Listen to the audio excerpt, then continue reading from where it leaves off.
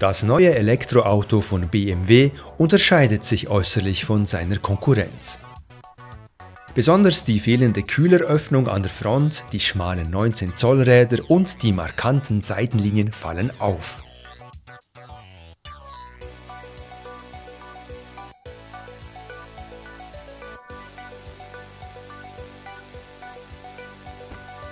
Auch im Innenraum verleiht der i3 ein spezielles Ambiente. Das helle Leder und die geschwungene Holzablage gefallen. Etwas gewöhnungsbedürftig hingegen ist das verbaute Fasermaterial im Grauton. Anstelle eines normalen Tachos gibt es ein Infodisplay und in der Mittelkonsole einen weiteren Bildschirm. Die bereits aus den anderen BMW-Modellen bekannte Steuerung für Multimedia-Funktionen ist bedienerfreundlich und ermöglicht bei stehendem Fahrzeug im Internet zu navigieren. Das Raumgefühl auf den vorderen Plätzen ist wie in einem Minivan. Etwas umständlich ist der Zugang zu den beiden hinteren Plätzen. Die Vordertüre muss geöffnet werden, um überhaupt auf die Rückbank zu gelangen.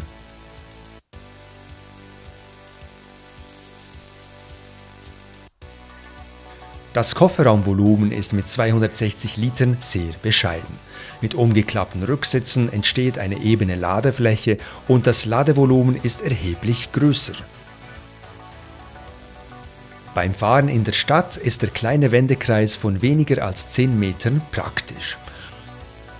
Auch die Fahrleistungen sind beeindruckend. Der Drehstrom-Synchronmotor liefert 170 PS und beschleunigt den 1475 Kilogramm schweren i3 in nur gerade 7,5 Sekunden auf 100 Stundenkilometer. Das Getriebe verfügt über einen Vorwärtsgang und einen Rückwärtsgang ohne Kupplung. Dies sind die Vorteile des Elektromotors. Die elektrische Reichweite lag im Test bei gut 130 Kilometern. Der verbaute Range Extender bringt noch einmal 160 Kilometer. Die Fahrt im BMW i3 ist komfortabel, obwohl die Fahrwerkabstimmung eher straff ist. Auf Überlandstraßen kann der agile Hecktriebler mit der direkten Lenkung punkten. Das Geräuschniveau ist auch bei hohen Geschwindigkeiten angenehm tief. Die Sitze sind bequem, bieten jedoch nur wenig Seitenhalt. Ist der Fuß weg vom Gas, setzt automatisch das Energierückgewinnungssystem ein, das eine starke Bremswirkung zur Folge hat. Daran muss man sich erstmal gewöhnen.